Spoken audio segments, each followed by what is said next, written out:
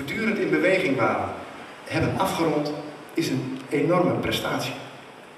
En daar moet je heel erg trots op zijn. Het legt ook een enorme verantwoording op jullie. Jullie verantwoordelijkheid in dat medialandschap en we weten hoe machtig die media zijn en hoe ze misbruikt kunnen worden.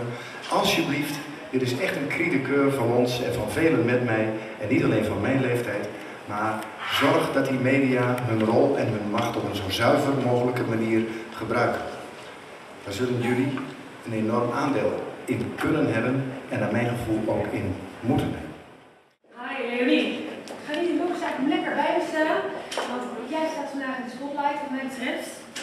Um, Leonie, wij kennen elkaar eigenlijk niet zo heel erg goed voor jouw afstudeerperiode, maar dat veranderde ontzettend snel.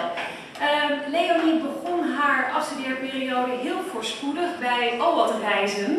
Maar um, jullie weten allemaal wat er gebeurd is op 25 september. Die ging failliet. Nou, uh, even een heel klein fragmentje uit het, uh, uit het persbericht.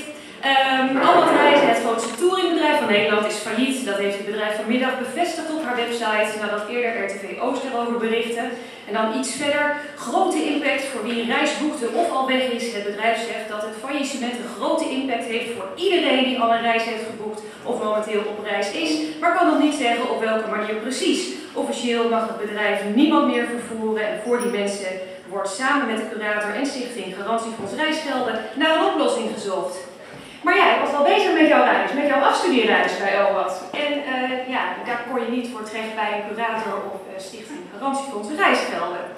Uh, de doorstart was, um, ja, ik wist eigenlijk niet zo goed of er wel een doorstart zou komen. Nou, Leonie heeft ontzettend goed voorzien dat er inderdaad geen doorstart zou komen.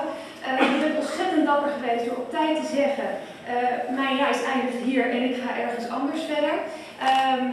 Ze heeft daarbij ook ontzettend veel doorzettingsvermogen getoond, omdat, uh, je moet je voorstellen dat je in een behoorlijk zwart gat kan vallen op het moment dat het niet lukt bij één afstudeerbedrijf. Uh, Leonie heeft een aantal sollicitatiebrieven de deur uitgedaan en uh, heel leuk te vertellen is dat er meerdere werkgevers of afstudeerbedrijven geïnteresseerd waren in haar. dus zij had gewoon de keuze en uiteindelijk is die keuze gevallen op de gemeente Enschede. Um, Enschede wil burgers digitaal graag contact laten opnemen met deze gemeente. Dat is nog lastig, bleek. Dus zij heeft onderzocht ja, door middel van een gebruikersonderzoek Um, waar nou de problemen liggen. Hè. Uh, ze heeft burgers voor de website gezet met een aantal problemen. Van ga een paspoort aanvragen. En zij ging kijken waar dan precies uh, wat goed ging en wat minder goed ging.